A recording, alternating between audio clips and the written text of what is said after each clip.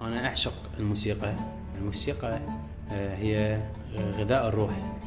آه، بالنسبة لي. لأن الموسيقى آه، تعبر تعبر عن كل شيء موسيقى بهالحياة أحب الفن الشرقي فكذلك أنا اتجهت إلى العود. بلشت أعزف عود قبل ثلاث سنوات.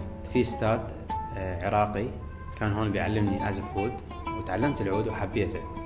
بعدين هذا الأستاذ سافر فظليت لحالي والآلة ظلت عندي. حد آه، ما انسرقت من عندي الآلة ابتعدت عن العود. فراغي كان هو مالي العود. هلا اتجهت إلى الشغل؟